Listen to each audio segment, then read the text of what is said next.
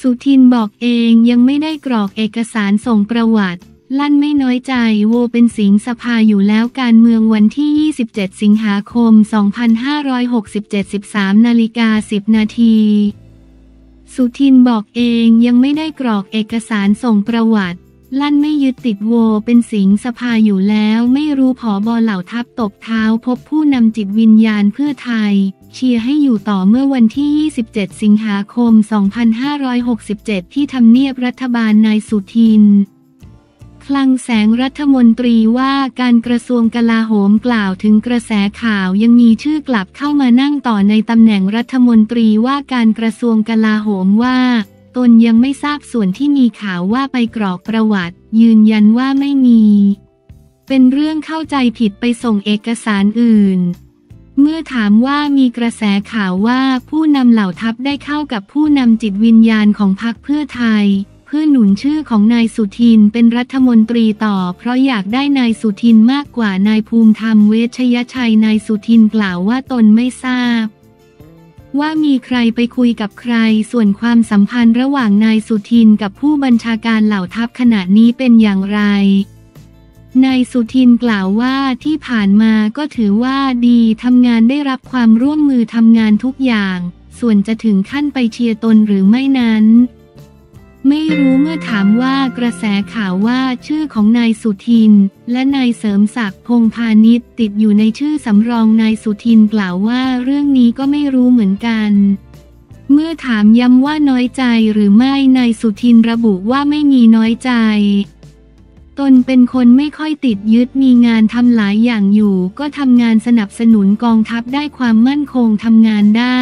ตนอยากทำงานเรื่องสันติภาพ เพราะสนุกด้วยเมื่อถามว่าหากการปรับคณะรัฐมนตรีครั้งนี้ไม่มีชื่ออาจถูกโยกไปอยู่สภา จะทำงานได้หรือไม่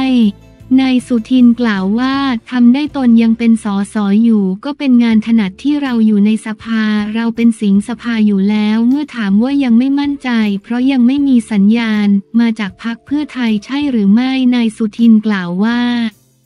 ตนถามใครก็ยังไม่มีใครมั่นใจ และยังไม่ได้พูดคุยกับใหญ่ในพักเพราะตนเพิ่งเดินทางกลับมาจากต่างประเทศเมื่อวานนี้ มาแล้วก็ตั้งใจจะเดินทางไปจังหวัดแพร่ แต่ก็ไปไม่ได้และยืนยันว่าไม่มีถอดใจอะไร เมื่อถามว่าวันนี้ที่เครื่องบินขัดข้องขณะจะเดินทางไปจังหวัดแพร่ จนมีการมองว่านายสุทินจะไปไม่ถึงปลายทางนายสุทินกล่าวว่าบางคนมองเป็นเคล็ดอีกแบบว่ากลับมาอยู่ที่เดิมลงจอดที่ดอนเมือง แล้วแต่คนจะมอง ผู้สื่อข่าวแซวว่ารอบนี้หน้าตาสดใส ไม่ปากซีดปากเซียวท้องเสียเหมือนครั้งที่แล้วนายสุทินกล่าวว่าก็ยิ้มได้อยู่แล้ว มันอยู่ที่ร่างกายส่วนที่มีกระแสข่าวว่าเมื่อคืนนี้ นายสุทินได้พบผู้ใหญ่ในพัก และกรอกเอกสารรัฐมนตรีนายสุทินยิ้มก่อนกล่าวว่าไม่มียืนยันว่ายังไม่ได้กรอกเอกสารมีแต่กรอกเอกสารอื่นอ่านข่าวเกี่ยวข้องนายกรัฐมนตรีรับโผคณะรัฐมนตรียังไม่นิ่งไม่ปฏิเสธมองคนนอกชี้พอปชรอต้องไปเคลียร์ปัญหาให้จบ ว่าที่รัฐมนตรีทยอยส่งประวัติเช็คคุณสมบัติทีมงาน เสริมศักดิ์สุทิน มาด้วยหมอมิ้งโยนเลขาคณะรัฐมนตรีหลังพอปชรอโวย บิ๊กป๊อตไม่ได้เอกสารกรอกประวัติคณะรัฐมนตรีอิง ไม่ได้ไปต่อ จักรพงศ์ยอมรับไม่ได้รับเอกสารกรอกประวัติคุณสมบัติ คณะรัฐมนตรีอิงหนึ่งสพัฒเดชอิดนฤมลส่งประวัติตรวจคุณสมบัติรัฐมนตรีแล้วคาดสัปดาห์นี้ครบแน่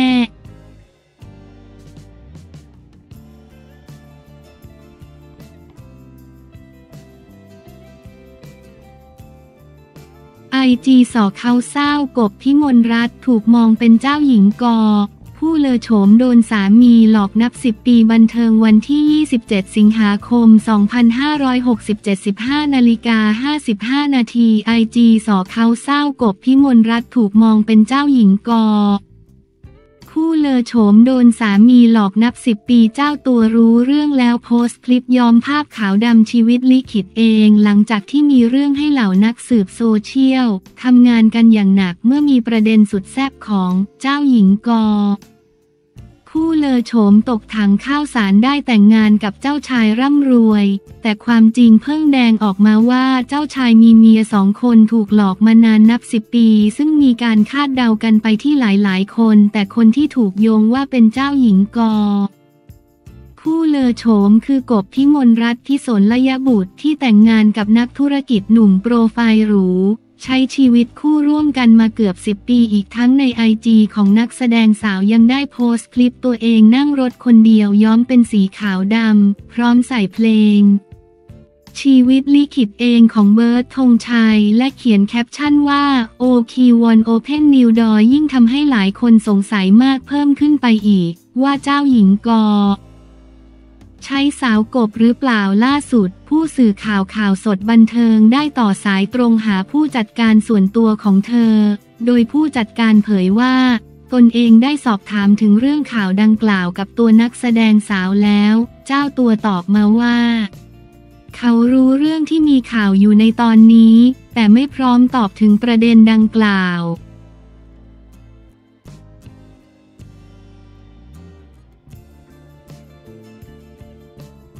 ชวนย้ำไม่หนุนปชปร่วมรัฐบาล เพื่อไทยลั่นกลับลำเท่ากับทรยศประชาชนการเมืองวันที่ 27 สิงหาคม 2567 14นาฬิกา 28 นาทีชวนย้ำไม่หนุนปชปร่วมรัฐบาล เพื่อไทยลั่นกลับลำเท่ากับทรยศประชาชนเหตุเคยรณรงค์อย่าเลือกเพื่อไทย ยันพักยังไม่ขับออก เพราะทำตามมติพักวันที่ 27 สิงหาคม 2567 ที่พักประชาธิปัตย์นายชวนหลีกภัย สสบัญชีรายชื่อ และอดีตหัวหน้าพักประชาธิปัตย์กล่าวถึงกระแสข่าวว่าพักประชาธิปัตย์เข้าร่วมรัฐบาลกับพักเพื่อไทย ว่าในพักไม่เคยมีใครมาพูดถึงเรื่องและได้บอกไปตรงๆว่าไม่เห็นด้วยที่ไม่เห็นด้วยไม่ใช่ เพราะว่าเป็นเรื่องโกรธแค้นกับใคร แต่เป็นเพราะตัวเองรณรงค์ว่าไม่เลือกพักเพื่อไทย ราะพักดังกล่าวประกาศชัดเจนจะพัฒนาเฉพาะจังหวัดที่เลือกพักเพื่อไทยก่อน จังหวัดอื่นเอาไว้ทีหลังภาคใต้จึงได้รับผลกระทบด้วยแม้กระทั่งการซ่อมถนนก็ยังมีการแกล้งกัน นายชวนกล่าวต่อว่าคนไม่ค่อยรู้ว่าพักประชาธิปัตย์ตรวจสอบมากน้อยแค่ไหน เชื่อว่าการรณรงค์ของตนมีผลไม่มากก็น้อย เห็นได้ชัดว่าพักเพื่อไทยไม่มีสอสอ แม้แต่คนเดียวในภาคใต้ทั้งที่ภาคอื่นได้สอสอท่วมท้นแลนสไลด์อย่างที่ประกาศไว้ ดังนั้นเมื่อเลือกตั้งแล้ว ตนจะกลับลำหนุนพักที่ตนบอกว่าอย่าเลือกนั้นเท่ากับว่าทรยศประชาชน ยืนยันว่าไม่ใช่ เพราะผลประโยชน์ส่วนตัวแน่นอน แต่เป็นประโยชน์ของประชาชนที่ถูกเลือกปฏิบัติ ซึ่งเป็นเหตุผลชัดเจนที่ผมให้ไว้ตั้งแต่เมื่อครั้งโหวตเลือกนายเศรษฐา ทวีสินเป็นนายกรัฐมนตรี นายชวนกล่าว เมื่อถามถึงที่มีกระแสข่าวว่าพักประชาธิปัตย์ขับนายชวนออกจากพัก นายชวนกล่าวยืนยันว่าตอนนี้ยังไม่ขับสมาชิกที่ละเมิดมติพักก็จะถูกสอบวินัย แต่คนที่ละเมิดมติพักก็มีอยู่หลายคน ตั้งแต่สมัยโหวตเลือกนายเศรษฐาก็มีคนกลุ่มหนึ่งเห็นชอบทั้งที่มติพักให้งดออกเสียงเขาขับ พวกนี้มั้งตนปฏิบัติตามมติพักคือไม่รับและขอแถลงชัดเจนว่าไม่เห็นชอบและได้ให้เหตุผลไว้อย่างชัดเจน ที่ประชุมก็ไม่ได้ว่าอะไรหากไปร่วมรัฐบาลจะทำให้สอสอ ภาคใต้ของพรรคประชาธิปัตย์อาจสูญพันธุ์ได้นั้น นายชวนกล่าวว่าตัวบุคคลมีความชัดเจนว่าจะไม่ร่วมรัฐบาลก็คือตน นายจุรินลักษณะวิสิทธิ์นายบัญญัติบรรทัดฐานสสบัญชีรายชื่อ และนายสันเพชรบุญยามณีสอสอสงขลาคนอื่นตนไม่แน่ใจจึงพูดไม่ได้ว่าคนเหล่านั้นจะเห็นด้วยหรือไม่ แต่การเข้าร่วมรัฐบาลเป็นเรื่องปกติธรรมดา และต้องผ่านกระบวนการมติพักนายชวนกล่าวต่อว่า แนวต่อสู้ของพรรคประชาธิปัตย์มีความชัดเจนมาตลอด ตั้งแต่ก่อนเลือกนายเศรษฐาเป็นนายกรัฐมนตรี ด้วยซ้ำย้อนกลับไปตั้งแต่สมัยที่ตนเป็นหัวหน้าพักประชาธิปัตย์ก็ได้ผู้แทนภาคใต้เกือบทั้งหมด แม้กระทั่งไม่เป็นหัวหน้าพักแล้ว ก็ยังมีส่วนช่วยให้พักประชาธิปัตย์ได้ผู้แทน ในพื้นที่จำนวนมาก นายชวนกล่าวอีกว่าจนช่วงหลังสถานการณ์การเมืองเปลี่ยนไป ต้องเข้าใจธรรมชาติของการเมืองที่เปลี่ยนไป ปัจจัยที่ทำให้ชนะการเลือกตั้งคือเรื่องเงิน ผลประโยชน์ จึงทำให้ทีท่าของผู้สมัครสอสอเปลี่ยนไปเช่นกันขณะที่กรรมการบริหาร กกบห พักชุดใหม่ที่กำลังทำอยู่ตอนนี้นายเฉลิมชัยศรีอ่อนในฐานะหัวหน้าพักได้ประกาศเอาไว้ว่า